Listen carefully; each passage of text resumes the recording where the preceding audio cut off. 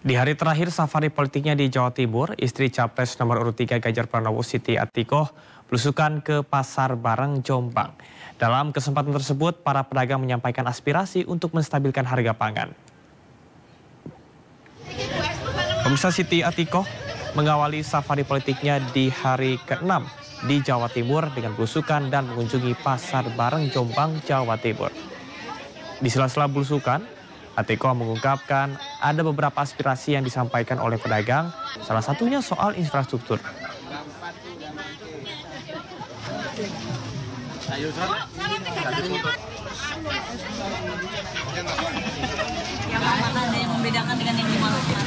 Uh, ini ada beberapa aspirasi ya dari pedagang terkait mungkin untuk infrastrukturnya karena ini kan baru hujan ya jadi agak ya uh, ini udah ada rencana untuk rehab uh, sehingga biar uh, baik pedagang maupun pembeli juga nyaman.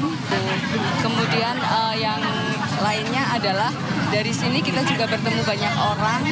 Mereka juga banyak menyampaikan aspirasi tidak hanya yang berkaitan dengan kondisi yang ada di pasar. Gitu, Mbak.